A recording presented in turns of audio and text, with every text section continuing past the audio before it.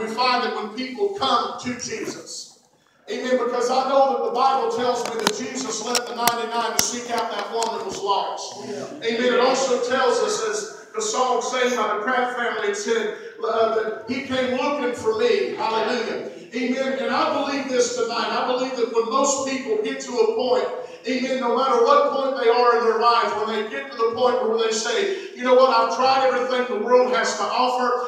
I've been places, I've done things. Amen. I have seen things. But when they get to the place in their spirit where they say, you know what, I feel that I'm, i have a void there. I feel that I'm lacking there. I feel that there's something else that I need. And you know what? I love it when people get hungry for more God. You know why? Because the Bible says that when you seek, you're going to find. It also says that those that hunger and thirst after righteousness, the same shall be filled. And I believe in some of you coming to the doors of the church house tonight, and I believe that some of you, you're hungry. Some of you got to a point in your life where you said, you know what? I've tried the things from the world. Amen. I've tried worldly things. I've tried other things, and I'm just still hungry. I feel that there's a void in my spirit. Even this man came to Jesus. Even Desperately, he came to Jesus. And he asked the Lord, he said, How can I inherit eternal life?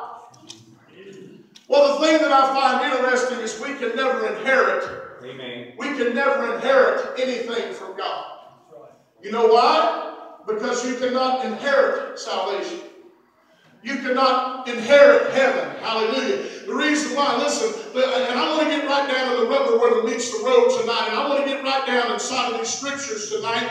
Amen. I just want to preach a little while. And the reason that I want to bring you to a place where you can have some understanding is a lot of people would get to the point they would say, well, why does this young man want anything?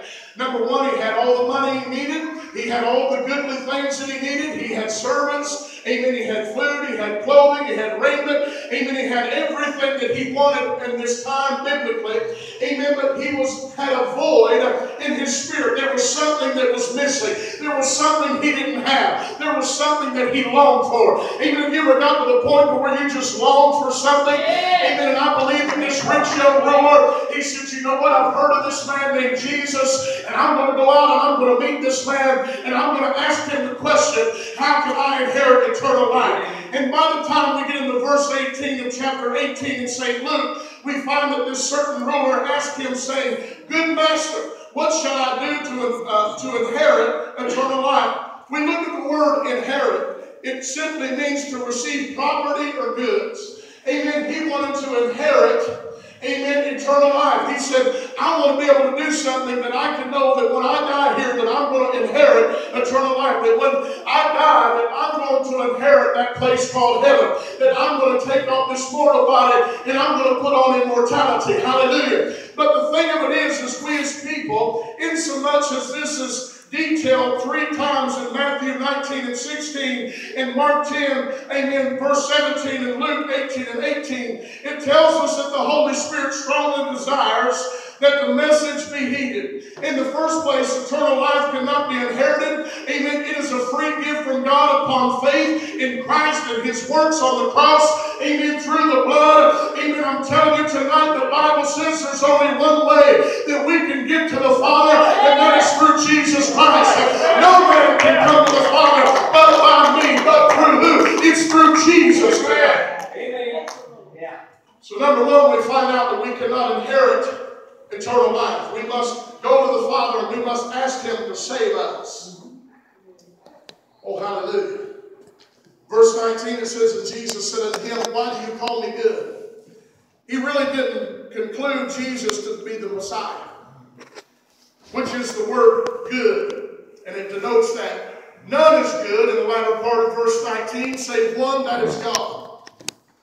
Verse 20 it says, You know the commandments do not commit adultery, do not kill, do not steal, do not bear false witness, honor your father and your mother. Amen. And the thing of it is, is we find that uh, this young man, he begins to uh, answer the question that Jesus had told him about. And he begins to tell Jesus, he said, Well, these things that you're talking to me about, he said, I've kept these things from my birth. He said, When I was a child, I was raised up, amen, to, to mind the law and to do the things of the law and keep the commandments of the law. Amen. But everybody in this room, we ought to know one thing. Amen. That we know that everybody has committed, amen, a sin before in our life. We know that all have fell short of the glory of God. We all have sinned. Amen. We all have fell short sometime or another. Amen. So we know that this rich young ruler, when he began to tell Jesus, I've kept all these things from my birth, we know that that young man was not telling the truth. Amen. Because I'm not the only one in here tonight that knows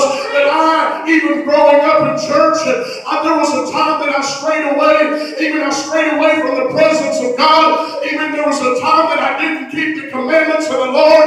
Amen. So this young man will say, I kept all these things from my youth, up from my youth. Amen. But we know this young man couldn't have done that. Amen. The Bible says there's only one man that never sinned, and that was Amen. Jesus. Yes. That's right. He was tempted in all points as we are, yet without sin. Amen. Oh, hallelujah. So, verse 20 it says, You know the commandments do not commit adultery, do not kill, do not steal, do not bear false witness, honor your father and your mother. Why did Jesus take this tack knowing that no one can keep all the commandments? Amen.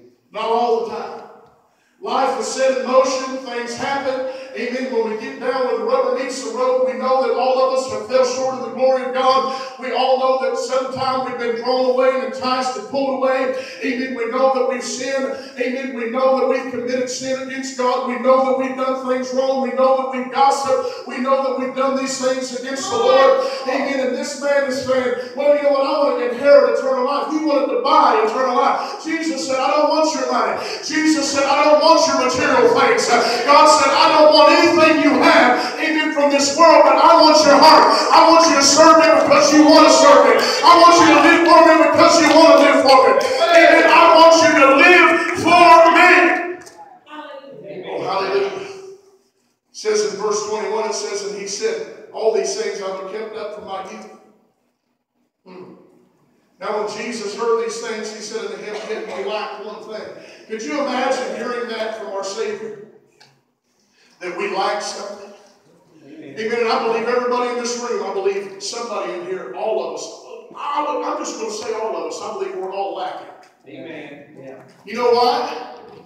Because I believe that all of us in this room, if we would really be honest with God, we know that we're all lacking. You know why? Because we're not all filled with the Holy Ghost. We all don't have the nine gifts of the Holy Spirit. Amen. We all don't have everything that God wants us to live for. Amen. We got to understand that God, amen, sent His only begotten Son to this world to die. Amen. That we would have a privilege and an honor, even of receiving things from Christ. That Christians today, they just walk around living below the privileges of what Jesus Christ died for them to have.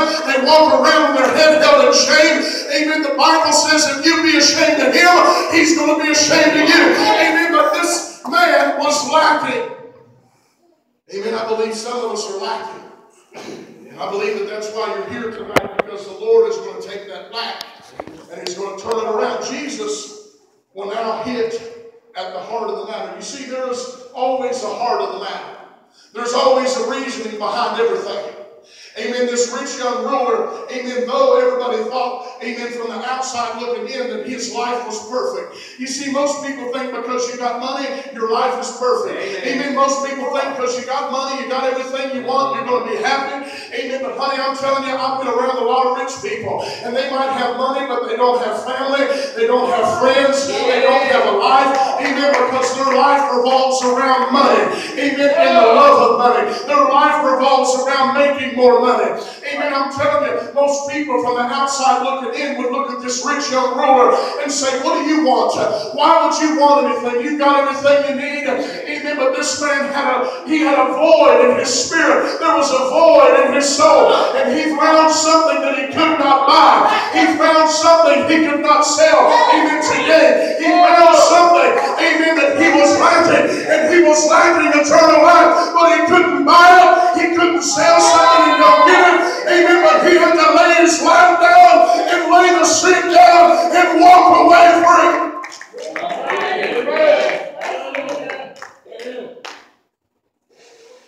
You see, that's where we're at in America. People don't want to lay things to the side and serve God. There's always something keeping people from church.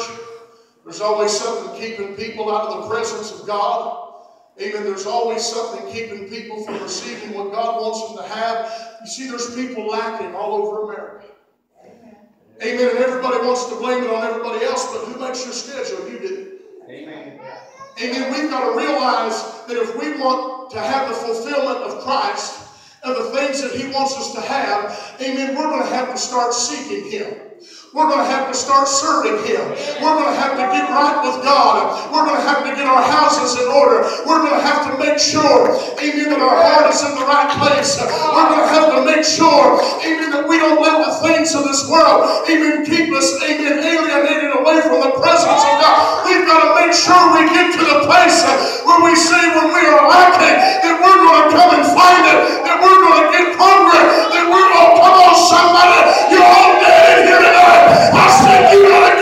place where you say, I'm lacking, but I'm going to come and get it. Woo! I just have to go around a lot of fire under every one of these chairs. After a four-night revival, and I ain't got much voice left, but I'm going to preach it anyway. Devil ain't going to stop me.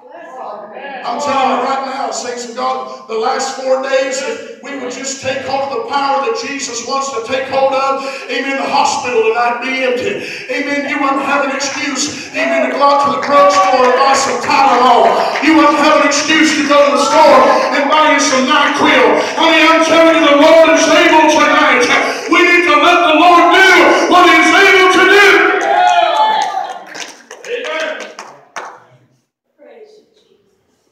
He said, There's one thing that you lack. He said, I want you to take all your worldly goods, all your monetary things.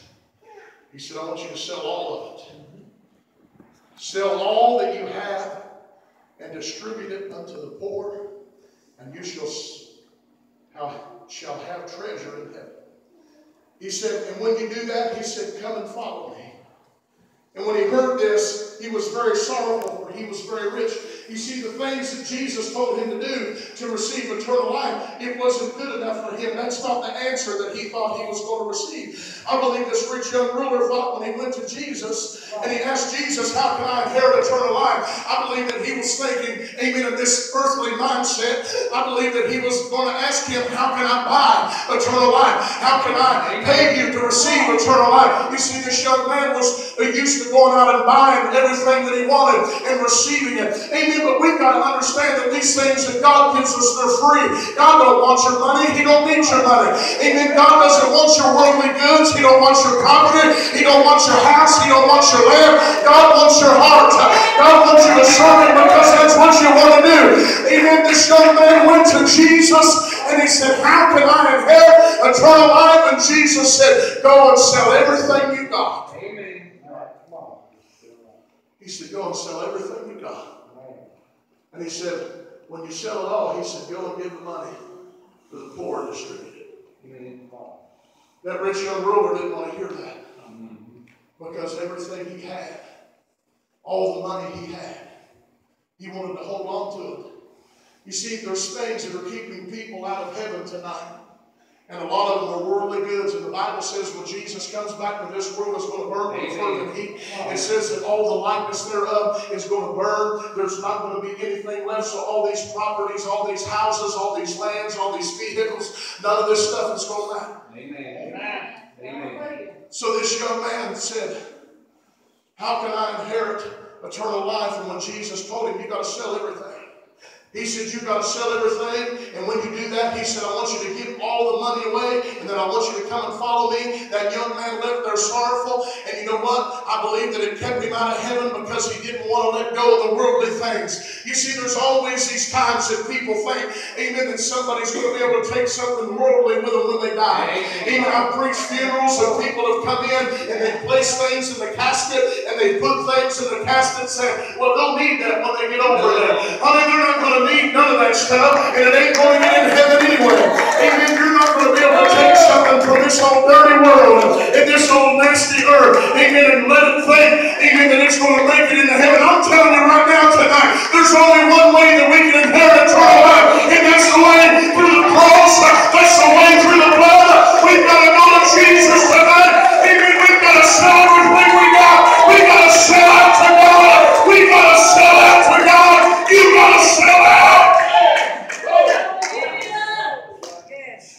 We got to sell out to God. Amen. Basically, that's what the Lord was telling me. He said, You got to sell out. You got to sell everything in this world. You got to cut ties with it. And he said, You got to pick up your cross and follow me. Hallelujah. This young man didn't want to hear that answer. The saints of God, that's exactly what the Lord told him to do. Stand with me tonight.